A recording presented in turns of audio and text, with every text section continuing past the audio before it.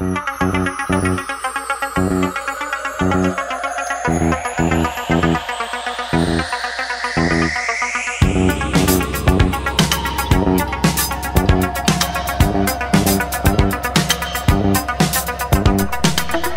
everybody, welcome to your Godcast today entitled uh, Area of a Trapezoid. Are you feeling trapped? Because these are uh, irregular figures, so calculating the area is a little bit tricky. Um, so let's take a look at what today's focus is going to be. Um, basically, we're going to establish that there are four steps to calculating the area of a trapezoid. You want to divide the trapezoid into two triangles, um, and that's going to help with our organization. Once you've done that, um, you want to use area of the two triangles to find the total area of the trapezoid. All right, so let's take a look on our smartboard.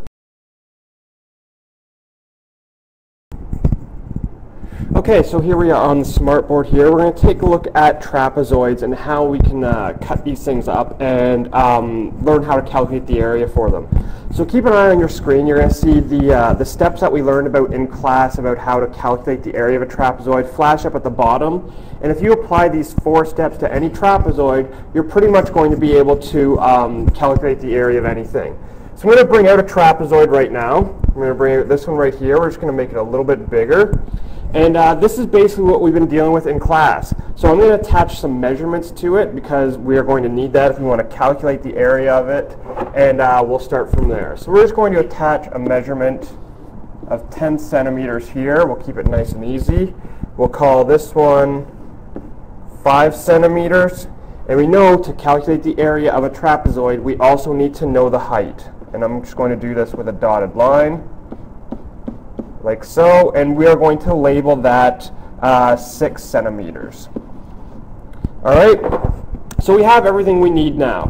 So step one, if you'll remember, is we need to um, divide the trapezoid into two triangles. Okay, so what we want to do is we want to divide this into two triangles, but we want to make sure that we don't cut any of the any of the the sides in half or anything like that. That's just going to make it really difficult. So the best way to do that is to just draw a line from one corner down to the other. All right? So now you see we have two triangles. Um, we have this big guy right here, and we have this smaller guy right here.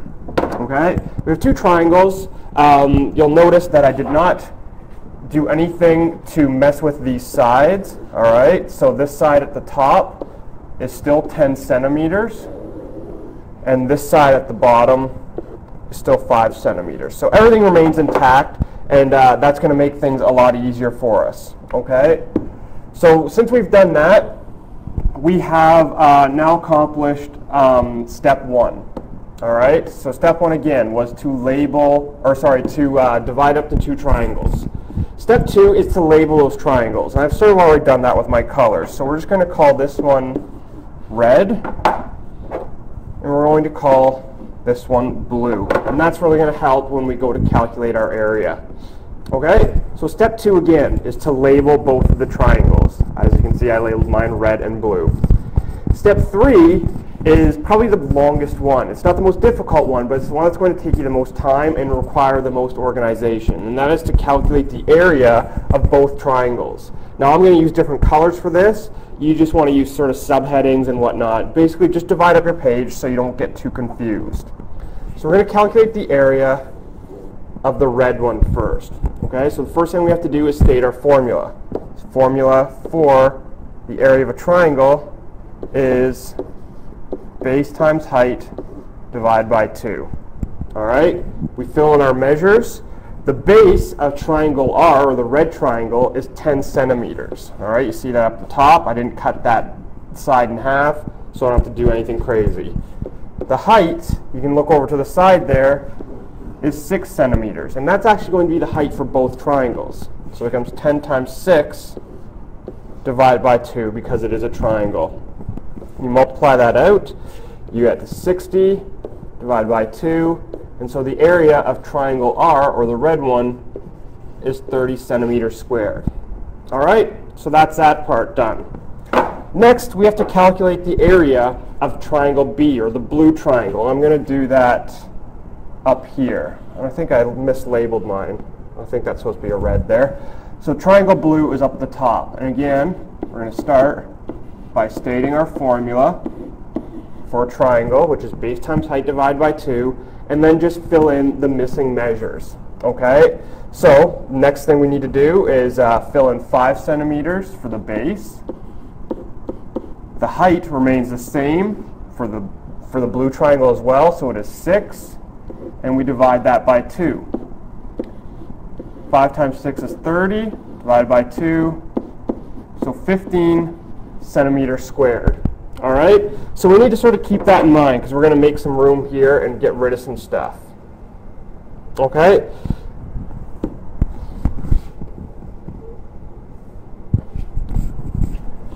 So we have the measures of our two triangles now. Blue equals 15 centimeters squared, and red equals 30 centimeters squared. So now that we know those two things, we can now carry on with step number four. And step number four is to calculate the total area of the entire trapezoid. And the way we're going to do that is we're going to add the total area, or the area of triangle R, and we're going to add it to the area of the blue triangle, triangle B. And what that is going to equal is our total area, which we're representing with TA. Okay?